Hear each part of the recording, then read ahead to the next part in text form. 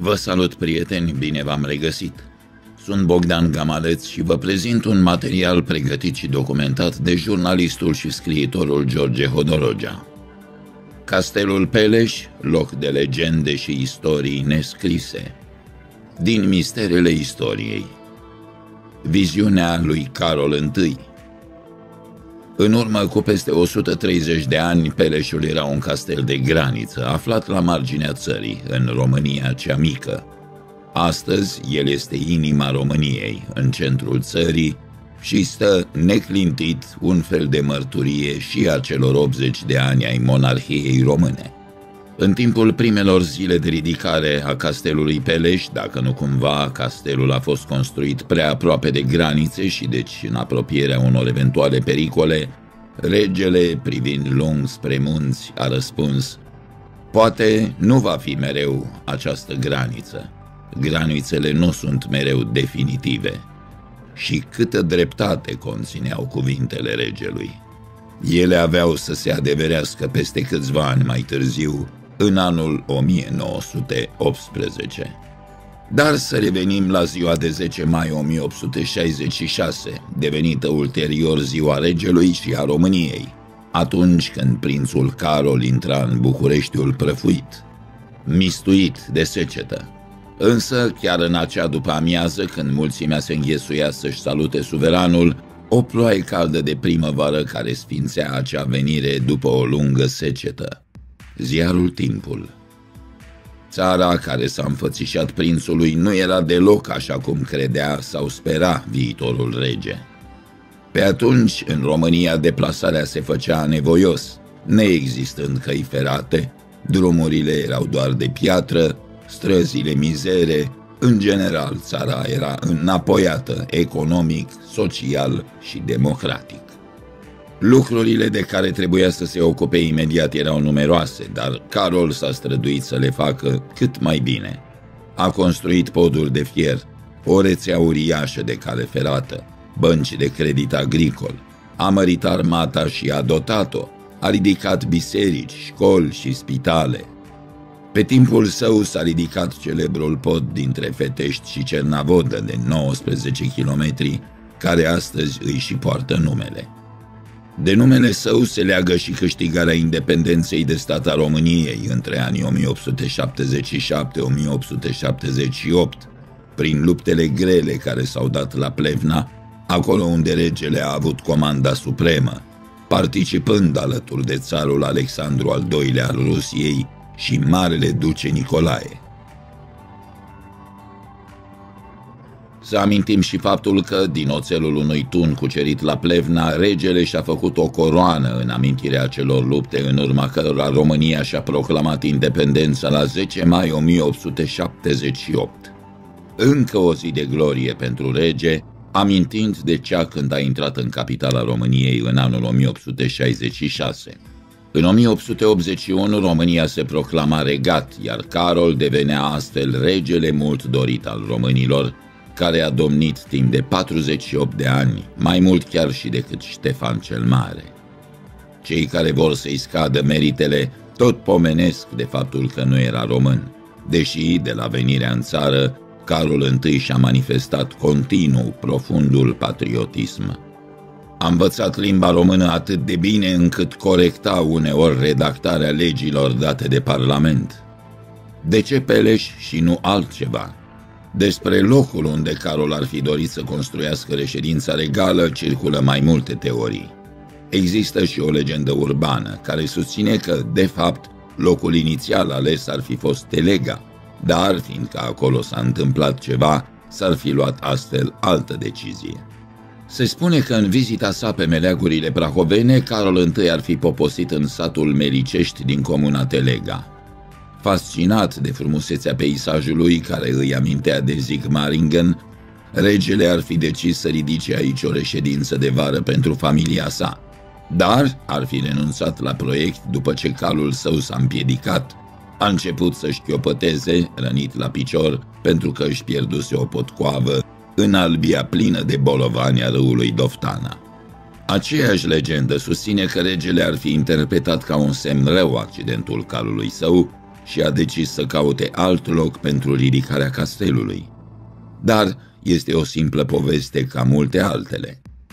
Regelui se propusese și Mogoșoaia sau Târgoviștea, dar Carol dorea un loc care să-i amintească de locurile copilăriei sale din Germania. În anuarul numărul 5 din anul 2014 al Societății de Științe Istorice din România, filiala Câmpina, este descris pe larg momentul primei vizite a regelui Carol I pe meleaguri prahovene. Se întâmpla în vara anului 1866 și, potrivit sursei citate, Carol I a pornit într-un periplu prin localitățile din Prahova, atât pentru a-și cunoaște țara, dar mai ales pentru a vizita ocnele de sare din Telega și Slănic. Ar mai fi fost un motiv, spun istoricii.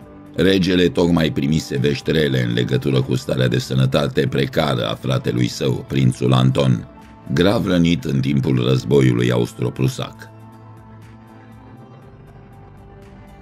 Călătoria ar fi fost inițiată tocmai pentru a se detașa, pentru o perioadă, de tragedia prin care trecea familia sa. La 24 iulie 1866, în zorii zilei, prințul pleacă într-o trăsură cu opt cai de poștă spre mănăstirea Sinaia. După câtva timp ajunge la Ploiești, unde vizitează doi bolnavi de holeră, internați în spitalul de aici. Nu zăbovește mult și continuă drumul. Face popas la Călinești și apoi la Florești. Trece și pe la Băicoi și pleacă mai departe, trece prin Câmpina, Comarnic și ajunge la Sinaia. E primit cu fast, trăsura fiind pândită din turnul porții mănăstirii, iar când s-a apropiat suficient, clopotele au început să bată. Gheorghe Bâlgă, profesor de istorie, a văzut apoi dealul Prunimitului, un loc cu un peisaj spectaculos de unde se pot vedea, pe vreme cu cer senin, atât munții Bucegi cât și munții Baiului. Aici, în acest punct, se pare că regele Carol ar fi intenționat să ridice un castel de vânătoare, iar acest aspect nu este o legendă, ci un fapt real. A renunțat la proiect dintr-un motiv mult mai pragmatic. Zona nu avea sursă de apă. Și așa s-a ajuns la soluția Sinaia, respectiv Peleș. Astfel, celebrul și fermecătorul Castel Peleș este profund legat de domnitorul și regele Carol I, din a cărui inițiativă a fost construit în afara perimetrului comunei Podul Neagului în anul 1874, an în care, tot din inițiativa suveranului, comuna primește denumirea oficială de Sinaia. Un an mai târziu, în centrul localității sunt ridicate primele case boierești, iar în anul 1876 începe construirea căii ferate Ploiești-Predeal, care străbate și Sinaia. Astfel, Sinaia va deveni orașul regal al României. Castelul a fost construit între anii 1874 și 1914, în două mari etape mai importante. Situat la poalele munților Bucegi, în Valea Superioară a Prahovei, pe malul stâng al pârâului Peleș, a avut la început proporțiile unei vile mai somptuoase, dezvoltându-se apoi până la amploarea monumentului de astăzi. Construcția începută după planurile arhitectului vienez de școală germană Wilhelm Doderer și continuată cu schimbări importante de un asistent al acestuia, Johannes Schulz din Lemberg, orașul Lviv de astăzi, este terminată în forma din tâi în toamna anului 1883. Modificările profunde și adăugirile considerabile din a doua perioadă importantă a lucrărilor între anii 1896 și 1914 sub conducerea arhitectului ceh Karel Liman, tind să confere castelului o înfățișare superbă, un caracter monumental. Arhitectura exterioară și decorarea interioarelor Peleșului se înscriu predominant în stilul neorenașterii germane, dar se întâlnesc și încăperi amenajate în diferite alte neostiluri. Deși a fost preferată sinteza unor stiluri de mare circulație europeană, Castelul e înnobilat și de cultura autohtonă. De exemplu, o cameră a reginei Elisabeta, cu cele patru anotimpuri, pictate după credințele din mitofolclorul românesc. Castelul Pereș era reședința preferată a reginei, unde își ținea și biblioteca. Elisabeta avea ea însă și inclinații artistice, semnând ca poetă cu pseudonimul Carmen Silva. Facem o paranteză. Regina i-a dat un manuscris și lui Eminescu, ca acesta să-și spună părerea. Poetul a fost sincer și i-a spus că versurile nu sunt publicabile. Se spune că regina s-a înfuriat și a reproșat poetului faptul că nu ține cont de calitatea ei de regină, la care Eminescu a replicat, da, regina României, nu regina a poeziei. Din acest motiv, regina nu l-a mai agreat pe poet, preferându-l pe Vasile Alexandri. Nu numai că îi admira sincer pe artiștii și oamenii de cultură români, dar regina Elisabeta pe unii a sprijinit și financiar, de exemplu pe George Enescu, Nicolae Grigorescu, Vasile Alexandri. Cel mai mult l-a ajutat încă de adolescent în drumul devenirii sale pe marele compozitor și interpret George Enescu. În plus, alături de Castelul Peleș a fost construită o sală de concerte special concepută pentru muzician, căruia regina i-a dăruit și o vioară lucrată de celebrul luthier italian Amati. Multă vreme Enescu era nelipsit de la Peleș. El a și pus pe muzică unele dintre poemele reginei Elisabeta, dând la iveală astfel mai multe liduri ale lui în limba germană.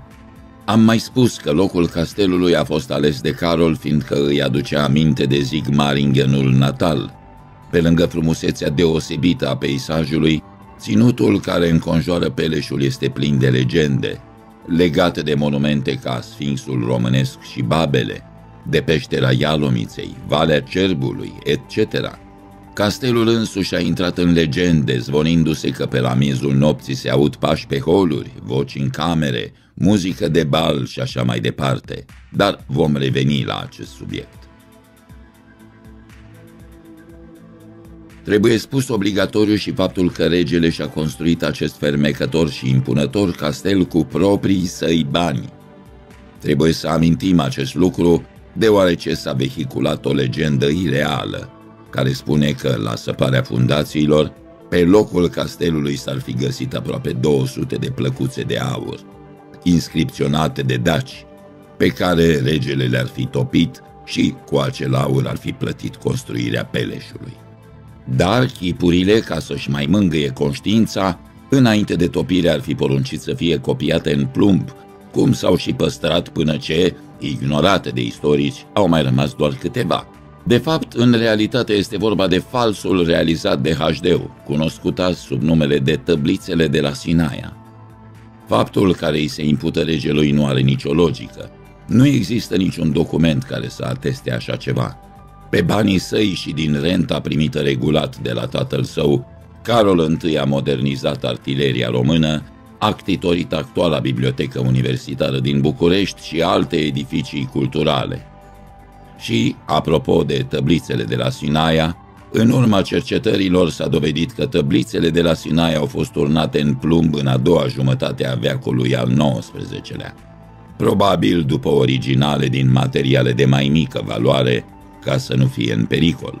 Terenul pe care a fost construit castelul avea o mie de hectare, se numea Piatra Arsă și a fost cumpărat de rege în anul 1871 de la eforia spitalelor. Peleșul, fosta reședință legală din 1883 până în 1947, va fi naționalizat un an mai târziu, în 1948. În același an, castelul a fost închis de către autoritățile comuniste. Toate bunurile de patrimoniu au fost inventariate. În anul 1953, castelul a devenit muzeu național, deschis publicului larg spre vizitare. De ce urau și se temeau ceaușeștii de Peleș? Localnicii spun că în nopțile cu lună, la Peleș se văd umbrele fantomatice ale foștilor săi stăpâni, regii și reginele României. Cu toate că legendele sunt doar legende, din acest motiv castelul nu a fost apreciat de soții Ceaușescu niciodată. După cum își amintea un intim al soților Ceaușescu, Cornel Burtică, dictatorii nu au dormit la Peleș decât o singură noapte. Motive ar fi mai multe. O variantă spune că Elena Ceaușescu s-ar fi speriat de fantoma reginei Elisabeta, care, cică, i-ar fi reproșat faptul că doarme în patul regal. Realitatea este însă mult mai prozaică. Pe de o parte se știe că dictatorul ura orice ce amintea despre regii României. Pe de altă parte, restauratorii castelului Peleș tocmai descoperiseră o ciupercă a lemnului care distrugea rapid structura interioară. Și, de teamă să nu se îmbolnăvească, ceaușeștii nu au mai intrat în Peleș niciodată. Să ținem cont că, totuși, în aceeași perioadă și în apropiere de Peleș, oameni trimiși de dictator căutau izvorul nemuririi, bănuit a fi în subsolul munților Bucegi. Legendele castelului Peleș Cât despre legendele castelului Peleș sunt în general aceleași care bântuie orice castel. Fantome, voci misterioase, lumini ciudate și muzici ireale. O legendă urbană vorbește despre faptul că locul a fost ales de Carol după ce o roată de la trăsura regelui s-a rupt. Acesta ar fi fost nevoit să nopteze la mănăstirea din podul neagului. Peisajul sălbatic l-a fermecat și a decis atunci să construiască aici palatul. O altă legendă pe care am amintit-o spune că în timpul săpăturilor pentru instalația de apă a castelului, lucrătorii ar fi găsit peste 100 de plăci din aur, care, ci că erau inscripționate într-o limbă necunoscută, probabil dacică. Aceeași legendă mai spune că, lângă plăcile de aur, se mai aflau obiecte și monede confecționate din același metal prețios. Istoria acestui tezaur nefiind însă niciodată dovedită. O altă poveste susține că la temelia castelului au fost depuse două pergamente sigilate într-un tub din sticlă, închis și el la rândul său într-o cutie din plumb. Alături de ele s-ar afla circa 100 de monede cu chipul domnitorului Carol I. Aceste pergamente ar reprezenta actul de fundație al castelului Peleș, terminat de 300 de muncitori în doar 2 ani. Oamenii locului spun că aici se văd focuri plutind deasupra pământului în anumite nopți din an. Explicația ar fi tocmai freamătul comorii îngropate de secole sub dalele de piatră ale Peleșului. În fiecare an, în luna iulie, un parfum exotic de violete indiene se poate simți în salonul de aur al castelului Pelișor. Evenimentul are loc în preajma datei la care regina Maria a murit. Muzeografii palatului spun că nu este o invenție, ci un fenomen ezoteric greu de explicat. Peleșul, cel mai modern castel al timpului. La vremea respectivă, castelul Peleș a fost considerat de contemporani ca fiind cea mai modernă reședință regală din Europa. Castelul Peleș numără 160 de camere, cu multe intrări și scări interioare și un turn central de 66 de metri înălțime. Palatul era iluminat de o uzină electrică proprie, proiect care l-a făcut unic în Europa acelor vremuri. De altfel, castelul Peleș a fost prima construcție din România, a cărui fundație a fost din beton. În vestita camera Elisabetei se găsește setul preferat de ceai al reginei. La dorința acesteia, special pentru salonul ei de la Peleș, a fost cumpărat un serviciu de cafea din porțelan japonez numit coajă de ou, atât de subțire încât era translucid. Se spune că a fost transportat în unt pentru ca finul porțelan să nu fie afectat pe parcursul traseului. Ca și la Bran și la Peleș au fost montate lifturi, o ultimă mare invenție a acelor vremuri. Și să nu uităm că din punct de vedere termic și iluminat, castelul era 100% autonom, în pofida costurilor uriașe, regele Carol I a avut ambiția să experimenteze la Peleș unele dintre invențiile începutului de secol. Aspiratorul cu pompe de vid, încălzirea centralizată și, nu în ultimul rând, tavanul retractabil din sticlă. Minunea mecanizată cu care regele se mândrea în fața oaspeților de seamă. Toate aceste echipamente avangardiste pentru începutul secolului 20 sunt funcționale chiar și în ziua de astăzi. De exemplu, aspiratorul nu a mai fost pus în funcțiune din anii 70 și până în anul 2011, atunci când reprezentanții firmei producătoare au venit la Sinaia pentru a-l reporni, iar experimentul a avut succes de plin. Lângă Peleș au fost construite ulterior două bijuterii arhitectonice, două palate mai mici, Pelișorul și Foișorul. Aici au fost găzduiți regi și regine. precum și personalități marcante ale perioadei respective. Concluzie Nu putem încheia fără a afirma că, la mai bine de un secol de când a fost inaugurat, unul dintre cele mai spectaculoase castele din Europa continuă să-i fascineze pe oaspeții care îi trec pragul. Peleșul, reședința de vară a familiei regale a României, abundă și astăzi de minuni tehnologice, unele unice în lume la începutul anilor 1900. Deci, castelul are tot ce îi trebuie pentru a încânta orice vizitator. Un ambient exterior excepțional, o arhitectonică remarcabilă, colecții de artă și, în plus, multe legende și povești fascinante. Prieteni, sunt Bogdan Gamaleț. Vă mulțumesc pentru că m-ați urmărit, că mi-au rămas bun de la voi, însă nu înainte de a mulțumi și prietenului nostru George Hodorogea. Pe curând!